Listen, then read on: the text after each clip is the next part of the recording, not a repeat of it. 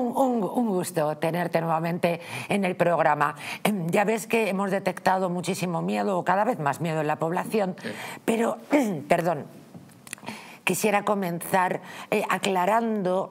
Em, la, semana pasada nos diste un truco a todos. Eh, ante este asunto, ya no tanto de la ocupación, sino de, ese enfado, de ese soberano cabreo, que yo me cogí eh, diciendo, oiga, ¿qué pasa? Eh, la policía, eh, la justicia no hace nada por mí, o sea, es como de broma. Tú en otro país cuentas, mira, sí, estoy en mi casa, llegan, la ocupan, se apuestan en mi cama, se sientan en mi mesa, se comen mi comida y vamos, Dios me libre de levantarle la voz, Dios me libre de cortarle los suministros y la policía lo único que me dice es, usted no tendrá un familiar ¿eh? que le acoja a usted. Hombre, por favor. Y entonces César Blanco nos dio un truco que vamos a recordar y vamos a aclarar porque hemos recibido determinados comentarios, incluso personas que estaban aquí en el plato y no terminaron de entenderlo. Genial, pues para eso estamos. Es verdad que lo expliqué muy rápido, vamos a hacerlo con rigor y bien y sin asustarnos. Mira, el truco es muy sencillo, totalmente legal.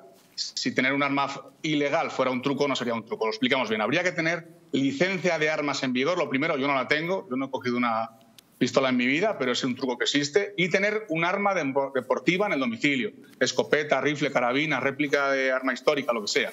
Te allanan tu vivienda y una vez que tengas conocimiento, hay una sección de la Guardia Civil que se llama la intervención de armas y ya te aseguro yo que la mezcla en el domicilio del ocupa y el arma lo sacan en cinco minutos. Tú puedes tener tu nevera llena, tu mascota, tu perro o tu propia vivienda, eso ahora mismo en España no, no tiene valor, pero la mezcla licencia de arma deportiva con la escopeta de caza, por ejemplo, es lo más barato y lo más eficaz. ¿Nos suena muy raro? Pues nos suena muy raro. Eh, esta semana ha sido el juicio al señor este en Mallorca le asaltaron 83 años y este hombre para defenderse, dos atracadores, disparó y mató accidentalmente a uno. Eh, desafortunadamente, ¿os acordáis, no? Es precisamente la, noticia que en estos momentos yo tengo en mis manos ah. y que va a compartir efectivamente la víctima de la manada recurrirá la decisión del Tribunal Superior de Justicia eh, de Navarra de rebajar la pena eh, a uno. Perdón, perdón, perdón. Perdón, que me he liado, me he liado. Perdón, que no, no, tengo la noticia y por supuesto el octogenario, efectivamente, me he liado. Eh, disculpen ustedes, por favor. El octogenario que mató al ladrón que asaltó su casa, él dice, creí eh, que me mataban, hice lo que tenía que hacer. Decía, tenía mucho miedo, ya habían venido a robarme una vez, me habían puesto una pistola en la cabeza, dijeron que era la banda del diablo y amenazaron a mis nietos. Era el segundo robo en tres meses, pensé que me moriría y decidí hacer algo. Pau Rigo, que así se llama, tiene 83 años, eh, camina apoyado en un bastón con cuya ayuda ha llegado hasta la sede del Tribunal Superior de Justicia de Baleares. Llevaba un en la frente que cubre con una gorra, eh, a pesar del calor que todavía hace en las islas. En la mano izquierda está una bolsa de plástico verde con enseres. Le espera un maratón judicial de padre y muy señor mío.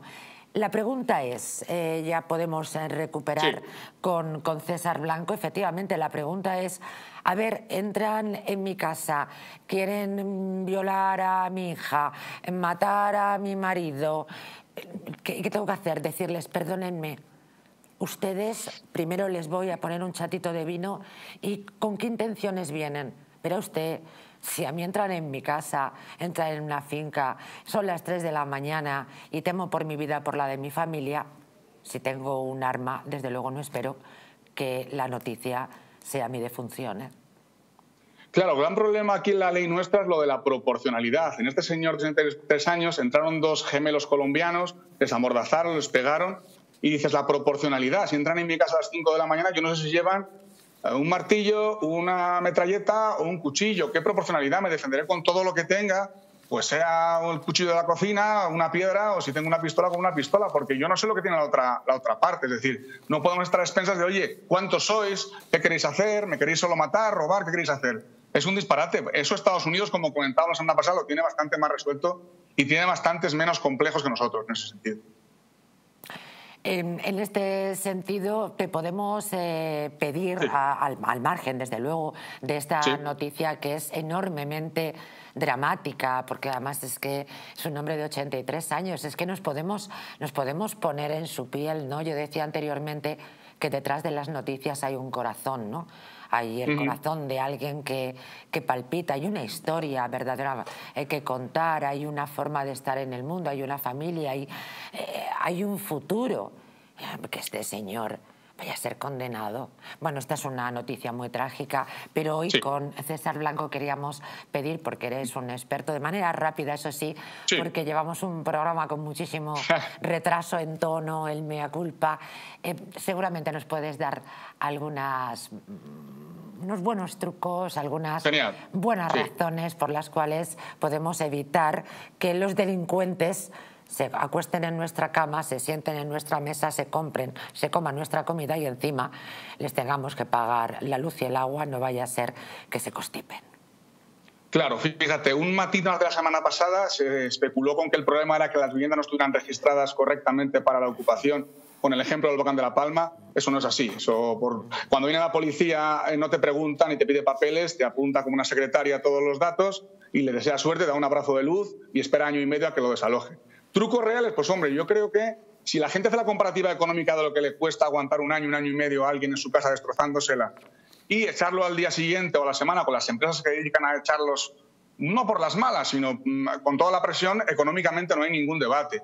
Ahora están haciendo mucha incidencia, lo que escuchaba ahora, de las segundas viviendas. ¿no? Eh, eso yo creo que es un, es, un es un barapeto como cuando dicen algún partido político pide que echarlos a las 24, 48 horas. Es que no tiene sentido, ni un minuto tiene que estar nadie en tu casa. Soluciones, solo hay tres soluciones que se me ocurren a mí. La primera, eh, dar la vuelta a la nueva ley que hay de vivienda, que es una calamidad, hacer justo lo contrario, que cambien totalmente la ley, para que así suba la oferta y bajen los precios. Está bajando la oferta y subiendo los precios. A nivel personal, un truco barato, barato, barato y sencillo, cerradura anti-bumping. Todos los ladrones están con bumping, una especie de herramienta que salta los, los pestillos de la cerradura y bueno, algo que cuesta 150 o 200 euros hace que vayan a la puerta del vecino y no a la tuya. Y bueno, ya por, rematar un poquito, copiaría un poco la esencia del programa, que lleva repitiendo casi un año Jesús Ángel Rojo, hace poco además se apuntó un poco a la corriente, una especie de rebelión civil, pacífica, organizada, salgamos todos a la calle, creo que el 95% de los españoles estamos de acuerdo con que la propiedad privada hay que, hay que, hay que por encima de todo, y es más importante, ¿no?, que a lo mejor un pico que le dio Rubiales a la tal Jenny, estamos girando en torno a pamplinas y no centrándonos en cosas más serias.